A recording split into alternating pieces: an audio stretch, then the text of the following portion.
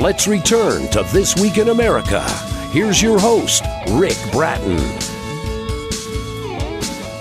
Welcome back, everybody, coast to coast, This Week in America. The new adventure suspense fiction For a Woman by Dick Snyder traces the efforts of two high school classmates, Bobby Banfield and Trey Thaxton, to rejuvenate the performing career of another, Shontel Williams. They are white, she is black. Now, financing is difficult, accessing the mob is helpful, but easy money becomes a hard coin to swallow.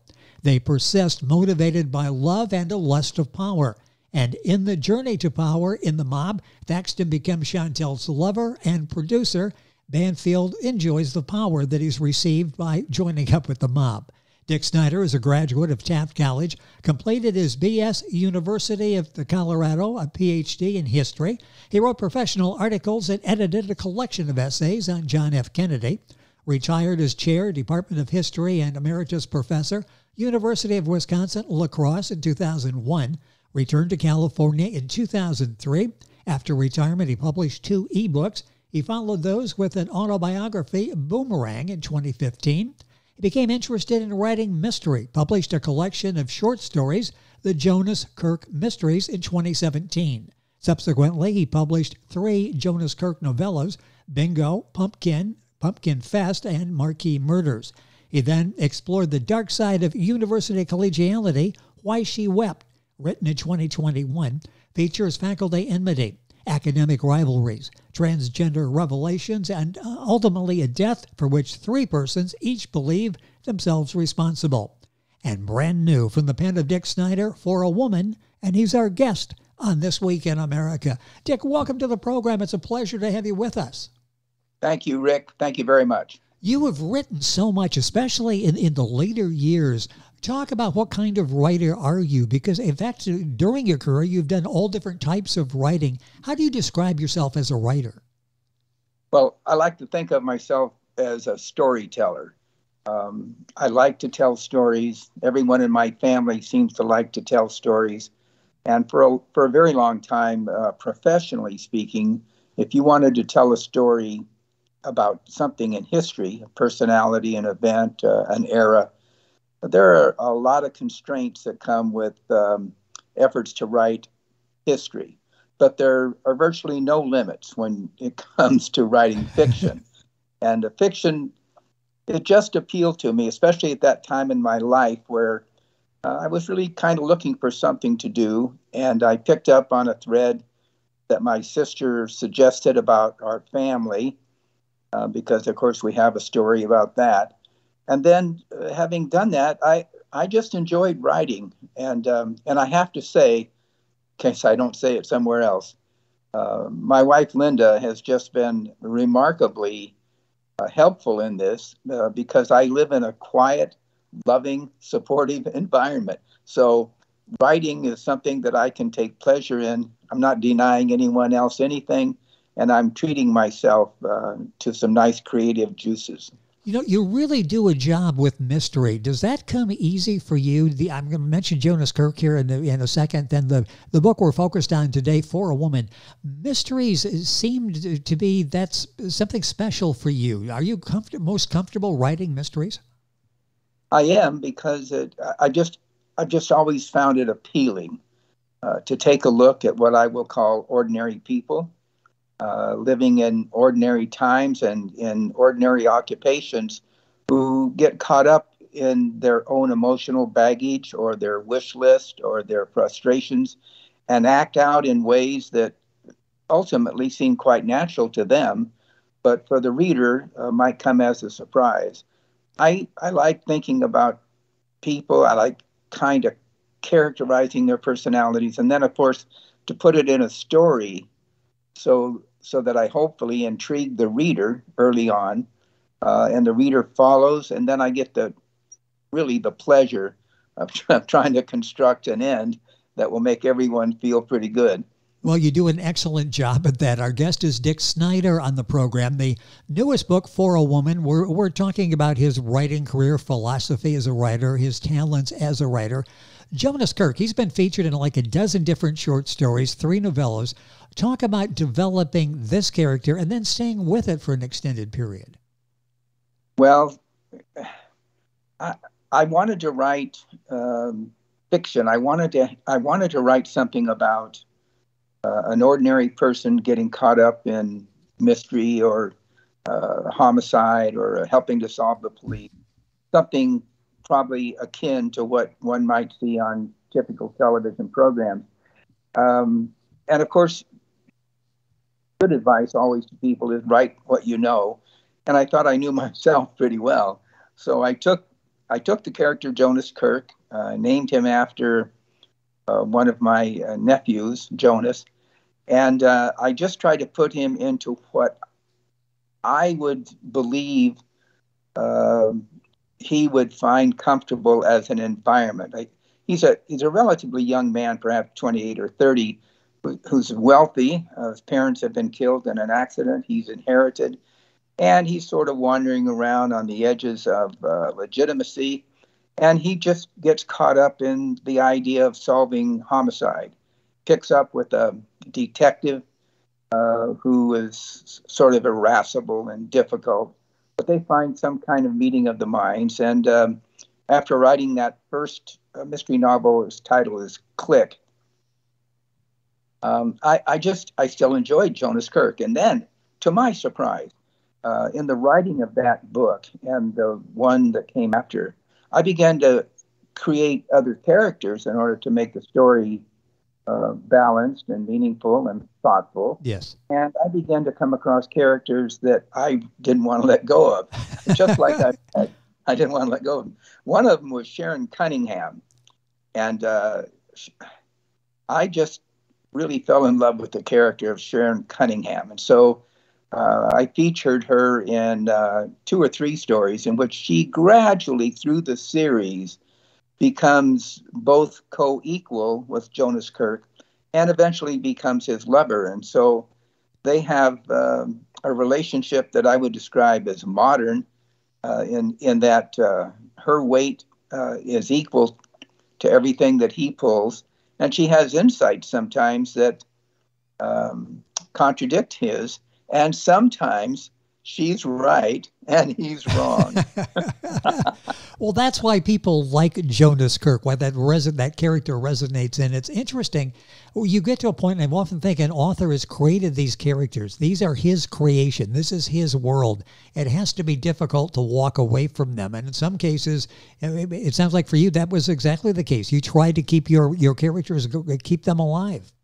I did. Um, I I I finally got tired of Jonas Kirk uh, along about um, somewhere uh, going through Pumpkin Fest, um, and I and I in the last book or novella that I wrote about him, even as I was writing, I I recognized that I'd really kind of run out of storyline for Jonas. I mean, he and Sharon Cunningham are together, and this and the and the last issue that they have to deal with he realizes somehow toward the end that he's made a mistake. And so that gave me the opportunity to to send him off to the Pacific, uh, looking for looking for a murderess uh, who has taken residence in a country uh, for which we do not have extradition. So they're wandering out there. If I want to bring them back, I can, but uh, I didn't want to and, to tell you the truth, Rick, I, I wasn't sure I was going to write anymore at all. And then, and academics will tell you this if you give them a drink or two. and then I got to thinking about some of the people who really upset me when I was working at the university. Uh, and, and I began to think about one in particular. And I began to think, I, I think I'll write a book about that. And so uh, that is uh, that is the, the, the source of the uh, novella Why She Wept. Uh, that took me back to the university and gave me a chance to uh, to create a mystery which I really enjoyed, and to in fiction skewer certain personalities who were quite objectionable to me while I was in the, the, university. The power of the pen or the computer, right. the I, computer in this case. And by the way, Jonas Kirk will live on forever as your website. Dick Snyder is our guest on the program. This book we're talking, and we'll get to here in a second, for a woman. So many interesting books that he's written. The uh, the Jonas Kirk series, and his website is jonaskirk, K-A-R-K dot com. Books are available at Amazon, Barnes and Noble, all of the the usual places. So you've changed from this detective to to recent novellas, The Why She Wept you just mentioned, and For a Woman. Why she wept? You just gave me a little bit of background on that. Why did she weep, and who is she? Well, I, I won't tell you who she is because oh. that is part of the mystery of the whole book. But I but I will tell you that uh, the person who is the victim in this uh, murder mystery uh, is uh, modeled after a person that I knew in my time at the university, and um, I have and exaggerated her challenges in life. I've made her uh, a person who, whom you might come to uh, feel a certain empathy toward. She has a lot of handicaps and a lot of challenges, and I recognize the, uh, the legitimacy that she has in working through those and still attempting to make some changes in the college. Uh, and making changes in the college brings up the most terrible word you can say to a university person, and that is change. They don't like change. Uh, they generally have worked it out for themselves after hmm, five to 10 years what their position's going to be and how they're going to go about it. Someone who introduces change and actually tries to make change is a threat to everything. And so, uh, this particular dean uh, shows up dead one day, and three different people believe they killed her. You've captured my, my, my thinking process here as to what's going on with that. You've got my attention, and that book is available with uh, so many books at uh, at Dick's website. That's the that's where this book came from. Why she wept. Let's now talk about this new book for a woman. I mentioned the background on this. It's fascinating you've got a little bit of everything there. It's always great to have the mob connection in there because there's so many interesting elements you can bring in with that. What made it motivated you to write for a woman? Um, really, um, it, it came about as a consequence of a close friend of mine who had read Why She Wept. And he thought that it was something that deserved some kind of uh, television or film treatment. Uh, he started talking about making a movie. Uh, that wasn't going to be possible, but nonetheless, we both got interested in doing something with that storyline. And then, sort of out of the blue, as my son likes to say, I got a pamphlet from the wife of another high school friend of mine and her pamphlet had to deal with her family. It had been written by two uh, members of the family, her father and his brother. And I'm going to give you two names here just to help fix where you might be. Her father's name, as he was known in the family, was Tricky Dick. Her uncle's name was Perfect Ted. They came, this is true, they came from a family of seven children who lost their parents within 18 months and were put up with relatives in Texas um, to raise them. Now, Perfect Ted and Tricky Dick, as I as I say, they were too poor uh, and they needed money, and so they did what people often did back in the 1930s. They robbed banks, they moved illegal hooch, uh, they uh, they did whatever they could to earn a dollar, and they were good at it. So my friend's wife wanted to know more about them.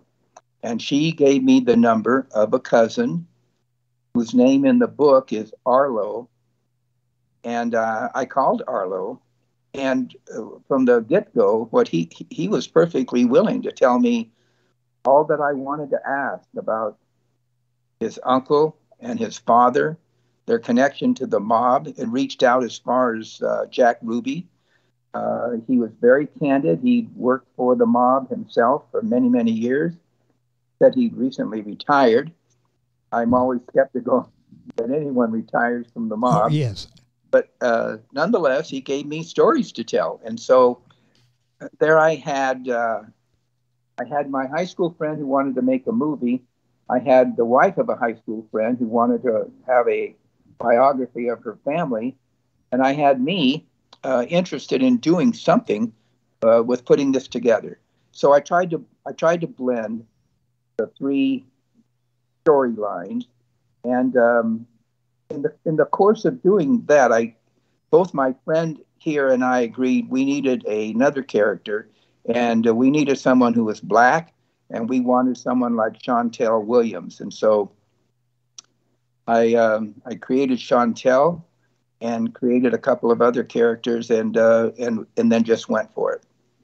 There are so many elements to this, and you do such a, a wonderful job of, of like meshing these all together did you know where you were going to go? Do you have a, like a, uh, a script in the beginning, uh, an outline, a strict outline, or did the story sort of go off in different directions as you were telling it?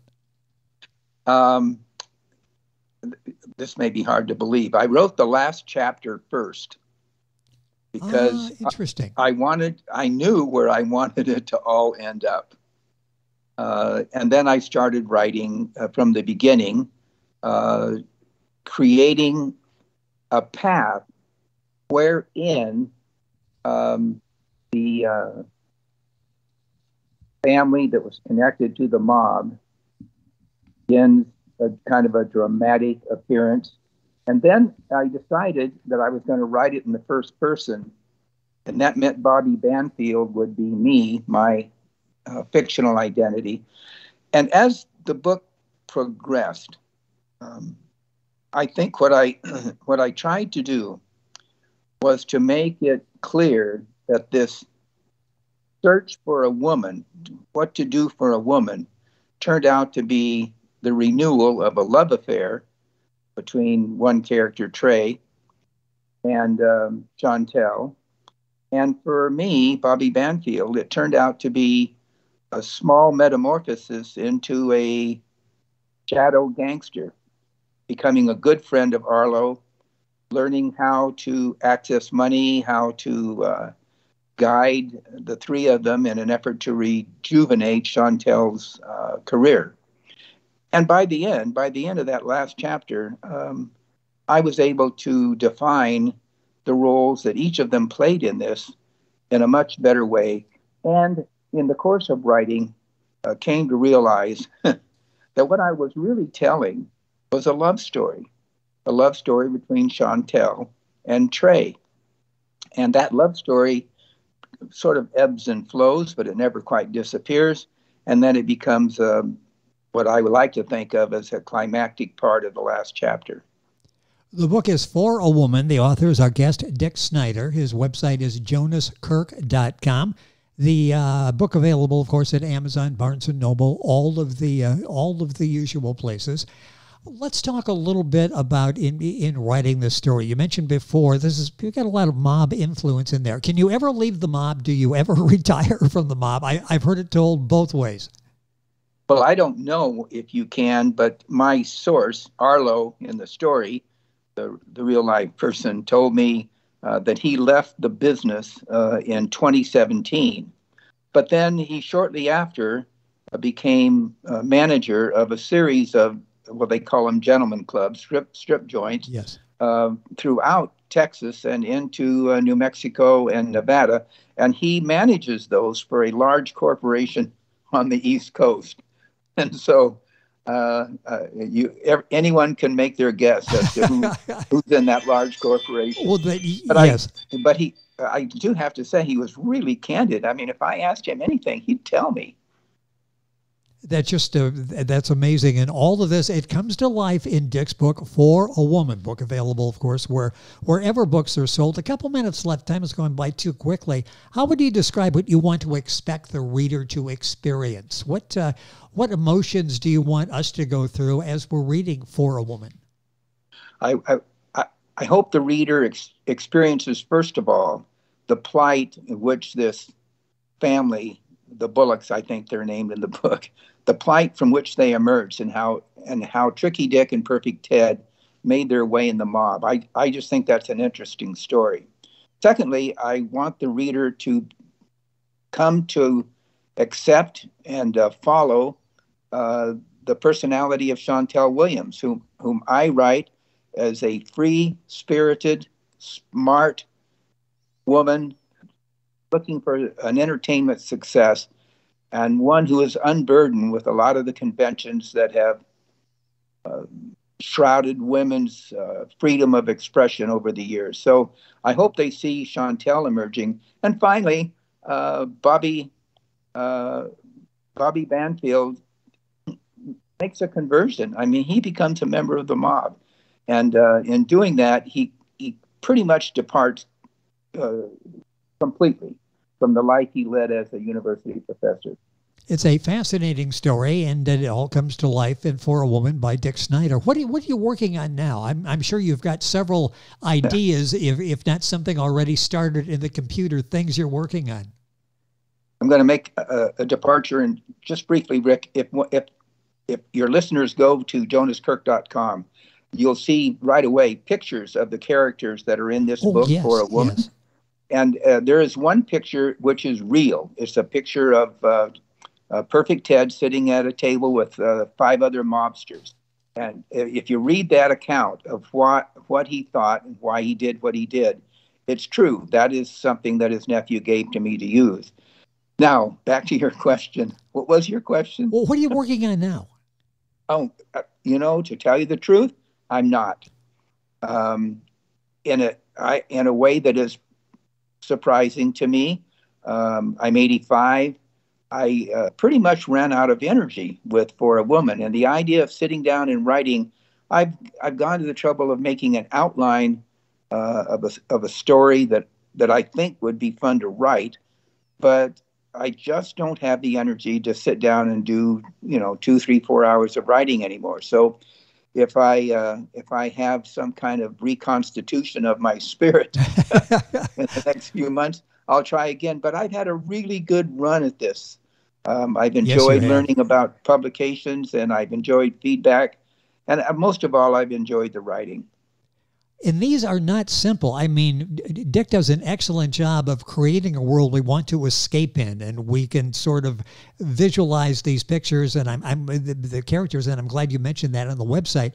We all have ideas as we're reading a book what the characters look like. You've got that there. You've got uh, the real person that uh, that Dick mentioned, but it has to be exhaustive coming up with all of these different story storylines, fitting them together, and hopefully there's a second win so we can enjoy a new book. But we'll enjoy what you have out there. All of the books available at uh, jonaskirk.com. And uh, you've got that link on our website, thisweekinamerica.us. Dick, it's been a pleasure having you on the program. Thank you so much for joining us. Excellent job with uh, with all of the books. The specific book we're talking about today, For a Woman.